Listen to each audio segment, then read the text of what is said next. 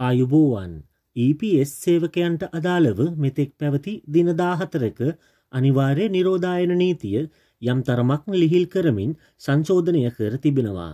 ඒ අනුව රීඑන්ට්‍රී පැමිණෙන අයවලුන් සඳහා සුපුරුදු පරිදි දිනදාහතරක නිරෝධායනයට යටත්වන අතර වැක්සින් දෙකම ලබාගෙන නිවාඩුවට මෞබිමට ගොස්න් පැමිණෙන්න්නන් හට දිනදාහතර නිරෝධායනයෙන් මුදා හැර තිබෙනවා.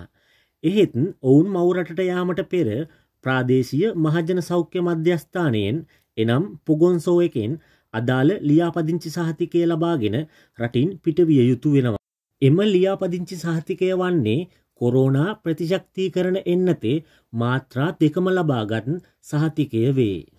ප්‍රාදේශීය මහජන සෞඛ්‍ය මධ්‍යස්ථානයෙන් ඔබ විසින් ලබාගන්නා ලියාපදිංචි සහතිකයේ ඉංග්‍රීසි පිටපතක් ඉල්ලුම් කර ඔබ ළඟ තබාගන්න. එවිට එය ලංකාවේ ගුවන්තොටු පොලේ සෞඛ්‍ය අංශවල අවශ්‍යතාවයන්ට පාවිච්චි කිරීමේ හැකියාවක් තිබෙනවා. නිවාඩුවක් සඳහා මෞබිමට යන ඔබ මේ ගැන අනිවාර්යෙන්ම සැලකිලිමත් වන්න.